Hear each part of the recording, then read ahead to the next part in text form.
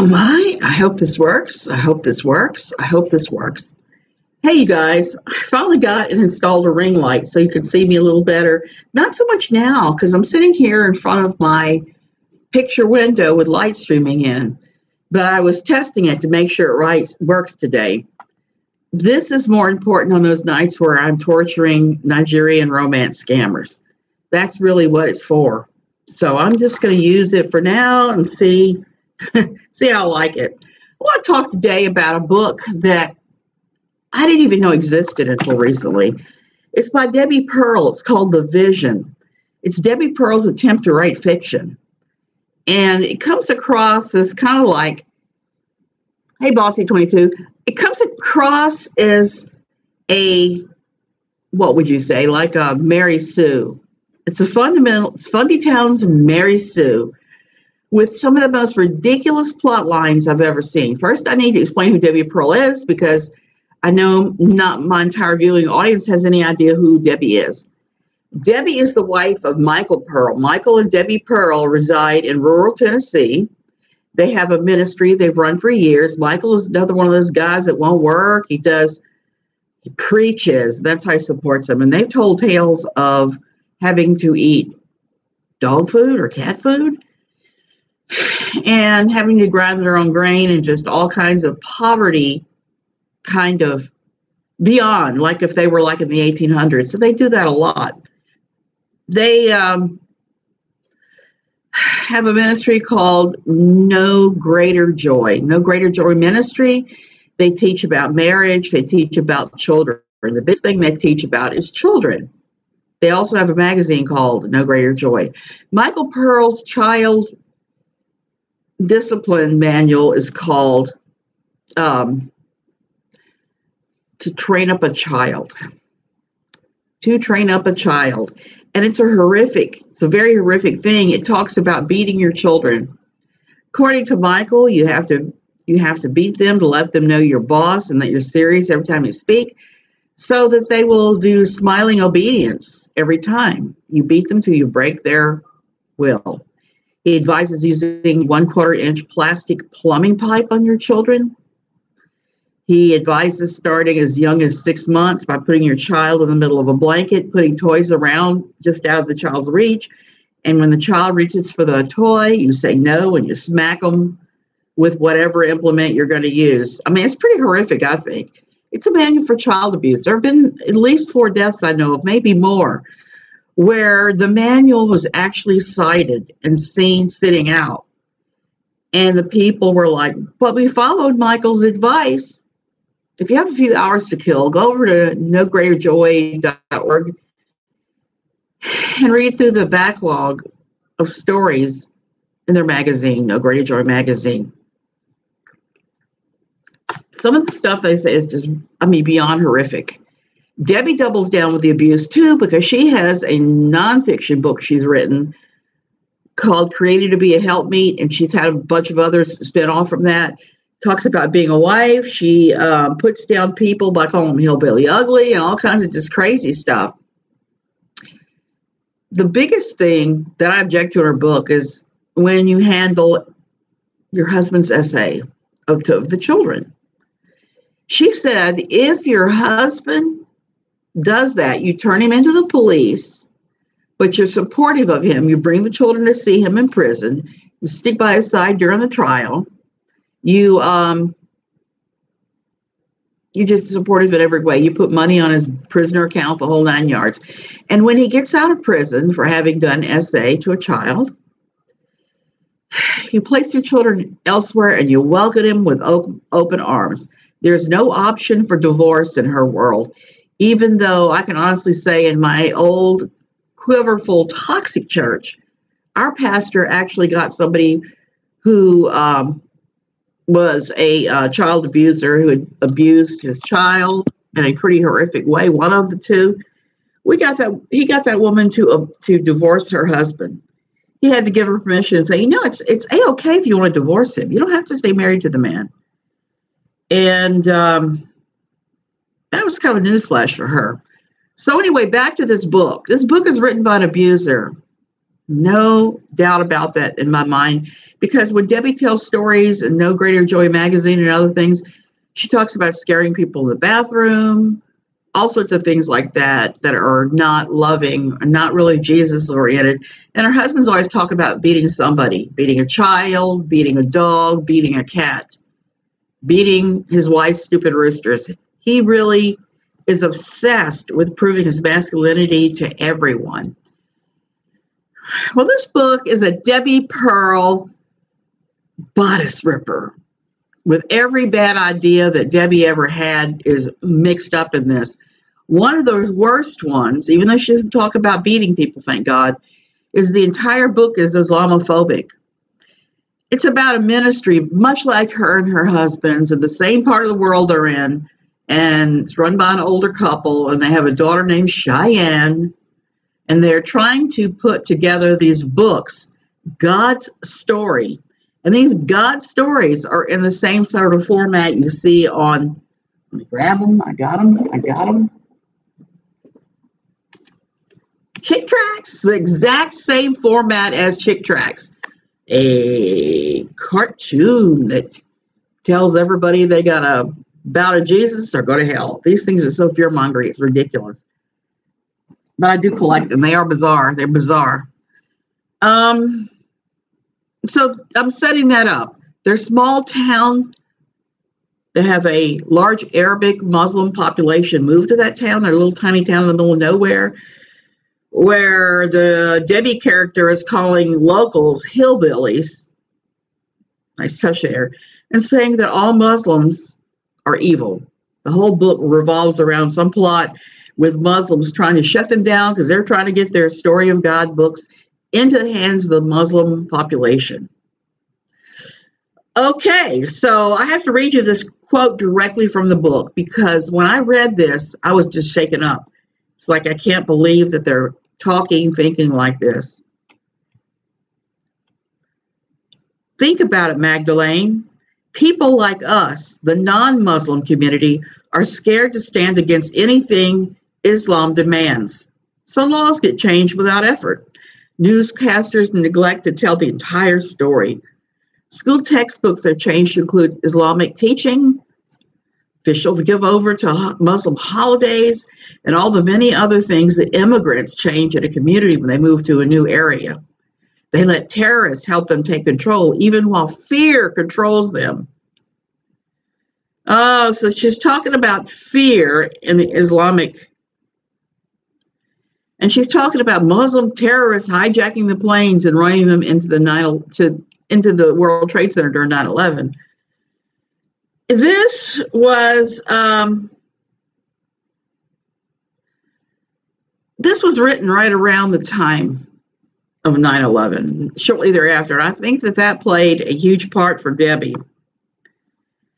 But here's where it gets comical for me because I've known Muslims. I've worked with Muslims. I've had Muslim neighbors. I, I have Muslim followers on social media because I've stood up for them a number of times when you get these these types ah, that believe all immigrants are bad. They're not bad. They're just like us. They just want to be in a safe place and be able to raise their families in peace and support everybody. It's not at all like what Debi's saying, where it's Muslim terrorists every moment in the stupid book. Um, to judge all Muslims by the actions of the Taliban or is or ISIS is the same as judging all Christians by um, Westboro Baptist or Steven Anderson's weird little cult. Speaking of which, the other pastor in that weird little cult that I was talking about yesterday, whose name I totally forgot, is in Stedfast Church in Texas. he um, he's now attacking other people. He's trying to say that um, Pastor Jimenez, I think that was it, ex-wife stole all the money. He didn't do it. So he's coming up with that, and that's pretty ridiculous, I think. He um, he's blaming everybody but himself. And here I am again forgetting that idiot's name. I know it. I know it. I know it but I can't remember right now. But he is in the Texas Stedfast Church, Baptist Church. he just posted a video on YouTube where he talks about how everybody stole his money but him. He's not stealing money. The day I believe that is the day that I'm going to buy the Brooklyn Bridge. I don't believe it. I believe that he probably has done some funny baloney with money. That's one of the reasons that I tell people when you leave your old cult church, go to a more mainstream church that has oversight, that has regional, state, and national oversight. It may not be as exciting, you may not have as much charismatic experience or whatever, but they're not going to be able to walk off with the money and spend it on bongs or hookers or whatever it is they do. Now, Jimenez, when he was kicked out, that's what he'd spent money on, I think it was. Was it Donnie Romero? I'm sorry, Romero. I'm sorry. See your moments. Donnie Romero was the one, and his ex wife recently came out of the woodwork to tell tales on him, too. So it's it's pretty crazy some of the things that have happened and things have been said. As much as I am not a fan of Jimenez, he didn't do any of that, as far as I know. So I'm not going to, so I'm correcting myself right now and I'm not going to go there. So, anyway, long story Muslim people are hated in this book. The main thrust of the book is about how this Debi and Michael Pearl type couple with their large ministry sending out all these God's Word comic books and being harassed by Muslims that actually bombed something in their community to get to Deb to get to pseudo Debi and pseudo Mike. Um, so they have just painted them black all the way through, including having the FBI show up because they're concerned about Muslim terrorist activity in that little tiny community. Good grief. So, the other big plot point is that the Debi alike has made this. Um, what did she call it? Go back a little bit. I know what I would call it.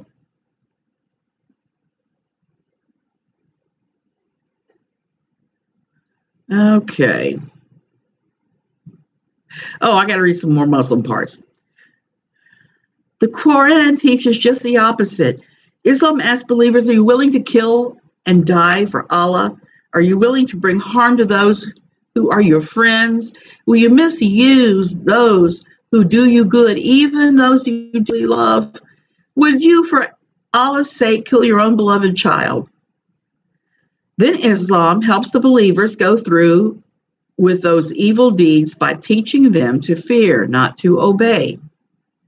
I don't know. This is getting, where's my air conditioning remote? This is getting all too crazy. And you got to excuse the mess. I've been organizing today. I've been taking apart all my organizers and, and cleaning and, and taking expired things out. I had something rupture in my suitcase that ruined my carry on that I have my little toiletries in. So I had to clean that mess up too so I haven't put anything away. So Debi Pearl alike, pseudo Debi Pearl invents this elixir. I guess that's what the word I'm going to use. This elixir, this syrup made from boiling berries, basically boiling berries, um, all kinds of different berries, putting them in a pot with water, boiling them, and also putting some magical leaf in there that is from some plant in I guess it's is it Iraq or Iran that the uh, that they now think that the Garden of Eden is in. I think it's Iraq, Iraq, and some special plant that only grows there. So she's saying this elixir. She's making this elixir. She's saying she's fermenting it for days and days and days on end for months, saying that is going to you know heal everybody in the world. She gives it to her husband Mike Micah like, I'm going to call him because he's called a ridiculous biblical name, the Micah like. She gives him some and he recovers from a stroke miraculously and other things. And he's sharper and harder working than any 20 year old. Her dog gets stomped to death by an evil wrongdoer, and she gives her dog the elixir and it, it brings him back to life. Even though he has been stomped to death and is bloody and has all these open, gaping wounds, her fermented berry juice brings him back. the reason I find that so incredibly and utterly ridiculous is I started thinking about it when I reread the book during my um, recent vacation. The thing that is so comical about this is that this fermented berry juice, I started thinking about it. When I was a kid, one of the things my father did was he made wine. And I would help him. He would make he made crazy wine. He'd get peach pits and leftover peaches and make peach wine. He and and peach brandy sort of thing. He would do that. He would get um, strawberries or cherries and make wine out of them. The only thing like that I've done is I put cherries in vodka and had vodka cherries. Those are really good. He made all these wines, even from dandelions. He'd make dandelion wine. So listening, I'm, I'm reading this stupid thing and I'm talk, hearing her talk about her fermented berry mixture. It sounds very, very close to what my father used to make when he would make brandies and wines and different weird things like cherry bounce, he'd call it the one thing he made with cherries. And they were all really delicious. Well, I started thinking about that. Her miracle berry juice is fermented, it's wine. No wonder you think it cures everything because for people that think that drinking is evil and wrong are actually drinking. They're drinking this fermented juice. In the very back of the book, she gives a recipe for a similar juice as the one that the lady in the book is, has put it together. But this similar juice that's all put together has this special leaf from the Garden of Eden. So we got that little ridiculous going on. You also have a bodice ripper type romance between some dude named Asher and uh, the faux Debi's daughter, who has the name of Cheyenne all the names in this book are just utterly ridiculous. They're straight out of romance novels. You cannot convince me that Debi Pearl at one point did not sit around and read romance novels. And I was laughing hard earlier, going back through some of the parts, because they were having stuff happen like Asher took Cheyenne's hand and she started talking about the electricity, the sparks that were shooting through them, and how she knew he loved her in that moment because of the electricity she was feeling through her hand. Now, well, I know that um, I know that chemistry between people and even electricity like that is possible. I mean, it happens. You're not going to hook up with somebody you have no chemistry with, that there's no no essential spark there. So she takes it to this really strange place, and the whole book is longing glances, clasped hands. Oh my goodness! they take a girl off the street who's who was working as a prostitute and teach her how to do herbs because Cheyenne is doing the same thing that one of Debi Pearl's daughters did, which is to buy and dry herbs and sell them as the be all cure all. And look, I'm not putting down herbal medicine. Herbal medicine has its place, it's really good, it's very helpful, but it's not all that. I'm just going to say it doesn't cure everything. And that's me talking with some kind of infection right now who's taken 10,000 milligrams of garlic every four hours because for me, that seems to work just as well as going and getting a prescription for an antibiotic. So I'm, I'm not entirely opposed to that. I am entirely opposed to when people say that it's way better all the time than doctors' medicines and it'll cure everything. It doesn't cure everything, it can help, but when you start making claims about it that aren't substantiated by anything, you really have problems. It can really get people in some very sad situations. I've seen that in my old church. Earlier today, I was talking on um, Facebook group, uh, That's Enough Ping Drink, about when a friend of mine cheated on her husband through this church and everything that went down. And then at the end, he forgave her, even though she was still running around cheating. This woman did not believe in any kind of any kind of medicine whatsoever, any kind of doctors. She said it was idolatry, right up until she got a migraine that wouldn't lift. went to the ER and they found that she had uterine cancer that spread all over her body. It was in her brain, it was everywhere. They gave her two weeks to live, just a mere two weeks. And um, she died. Her husband did like so many other guys in this particular evangelical, quiverful kind of world. Bought a fancy new car, got a fancy, newer, younger wife model. And he seems pretty happy. He was miserable with his original wife, but he would not divorce her, even though she kept running around. So, because she didn't get regular pap smears or even didn't go to have something simple like, you know, most of us at least go to the doctor every now and then and have our cholesterol checked. We have, uh, you know,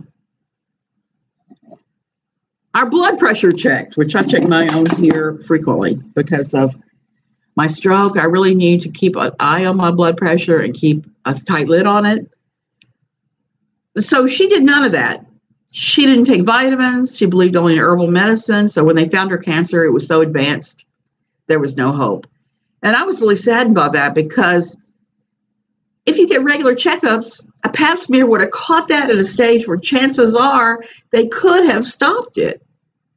So that's one thing I hate about quiverful evangelicalism is that so many of the people don't believe in any kind of medicine whatsoever and they die. They die. I'm lucky my husband didn't die because he was being told the same thing.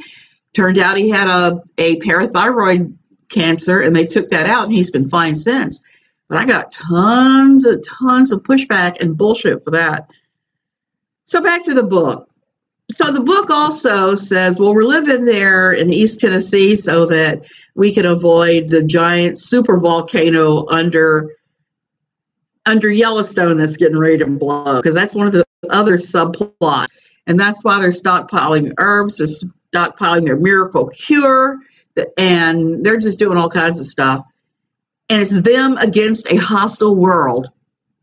The book the book came out i think in 2001 or 2 it was not too far after 9-11 it came out. So it came out when the christ well when evangelical fundamentalist quiverful decided that all muslims were terrorists. That's when the book came out. And it really plays into that. It's poorly written. All the, the plot lines are all over the place they rescue this girl. She joins up with them and starts wearing a skirt down to her ankles and uh, becomes suddenly modest. There's all kinds of shade thrown at immoral women. Uh, there's some very bad words used to describe them. Every people group that Debi Pearl comes up against in this book that is not in her little circle of uh, fear, her little circle of fear, that um, she's operating in, or her her alter ego is operating in. She has a denigrating setting so that that people group, every single one. Now she does write a righteous black man into the plot, so I'll give her props for that. But everything else, Hispanics, Muslims, hillbillies, not my word, and other groups, she just really puts them down. So they're stockpiling this for this Armageddon of these Muslim attacks and for the the volcano blowing. Whoremongers, that's another one that you see in here. Whoremongers. Uh, so after I start reading the book, and at the end, everything comes true and they're righteous and they get their books out, they get all their potion made, they have some of it imported from China. And so, long story short, they emerge victorious over it all. So, I had to look up some of the things they were talking about. It's insisting were soon to happen. One of them is the volcano under Yellowstone. There is a volcano over Yellowstone, under Yellowstone. She wasn't exaggerating about that. I, I'm not real surprised because when you visit Yellowstone National Park, you know, they've got Old Faithful, the geyser of superheated water that comes up on schedule. There's lesser geysers there. There's all kinds of hot water pools that you have to be careful of. I was reading one time about all these people that have died since then because they won't, don't want to stay on the path, or maybe they accidentally fall in, and it's pretty horrific. So I would assume that any place that has those kind of hot water things and has geysers is going to have a volcano underneath.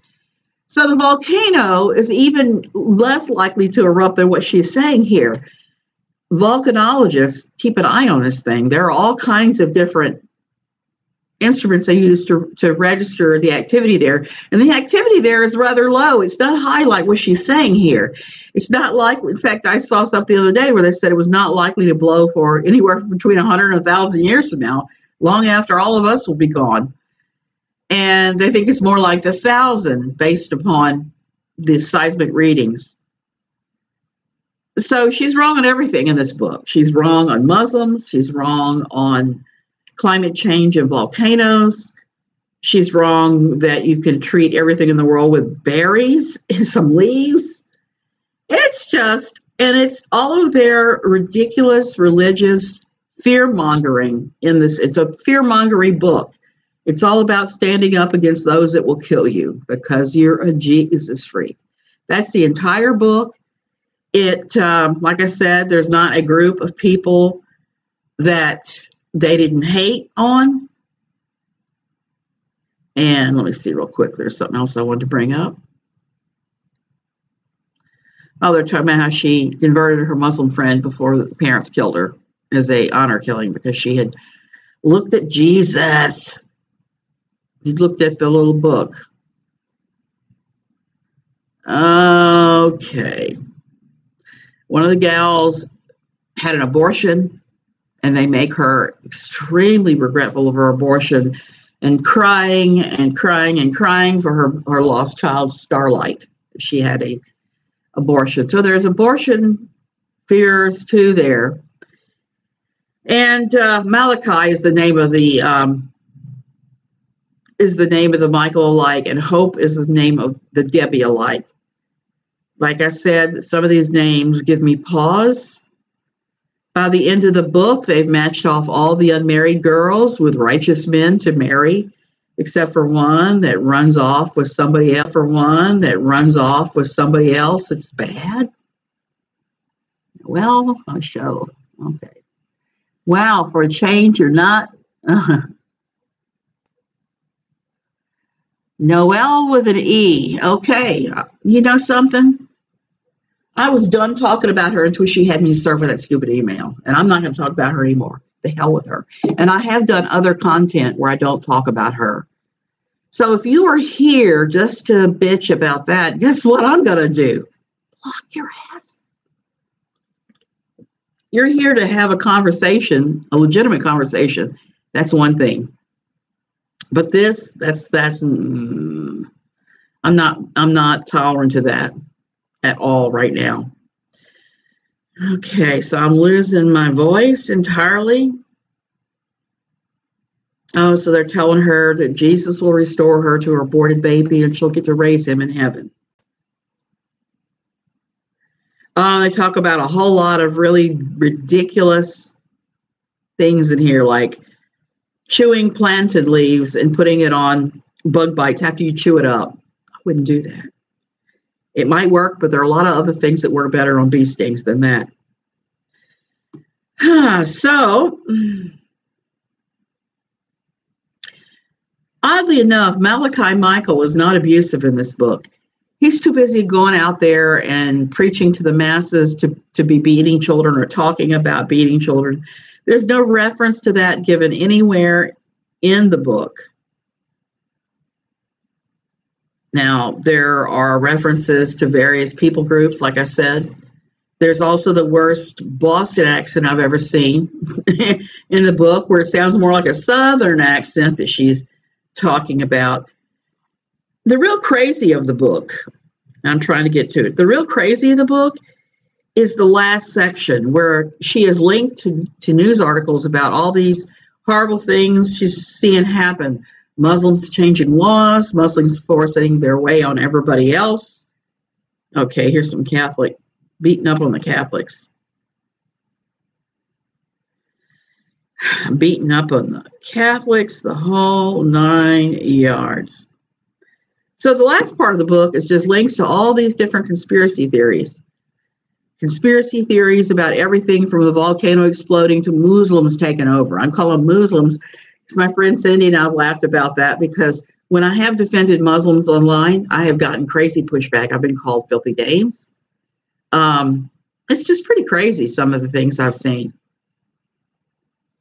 And it's sad. Do you remember when Jill and her oldest daughters lived with the pearls for a summer? They came back looking healthier and stronger. They put on a couple of pounds and just look so healthy.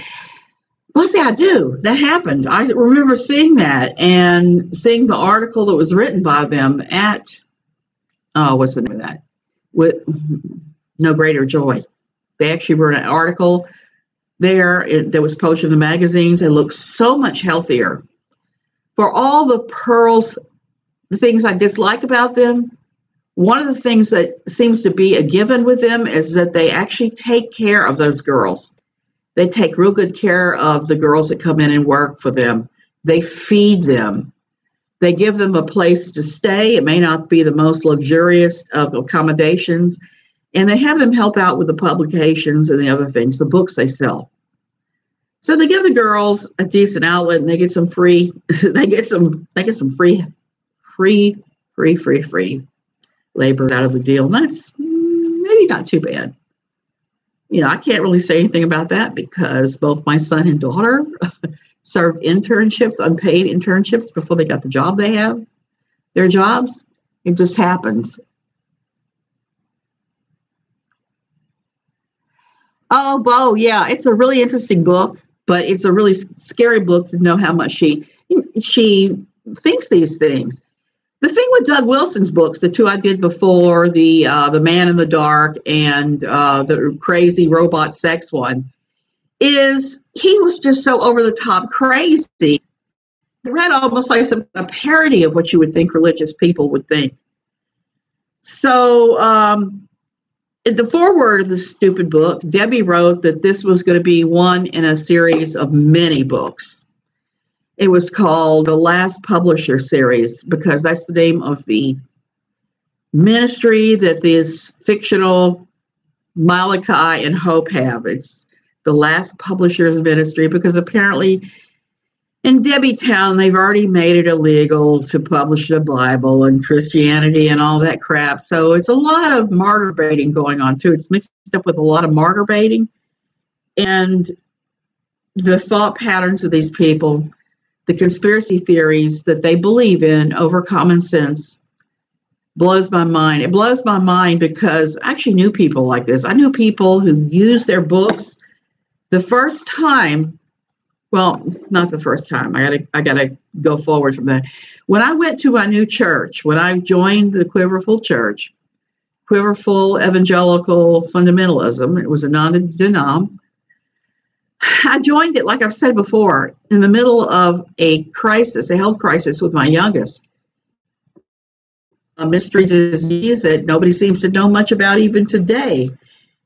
So there was that. So I joined at the hardest time of my life and they love bombed me. Well, after my daughter came out of the hospital after I don't know how many times, her and I would cling on each other. We would just we would just be like this all the time. Why? Well, because we'd both been through a really traumatic event. So we were hugging on to each other. And after a few months of that, somebody at the church gave me to train up a child. And they criticized me. They told me, said, Your child is way too clingy to you.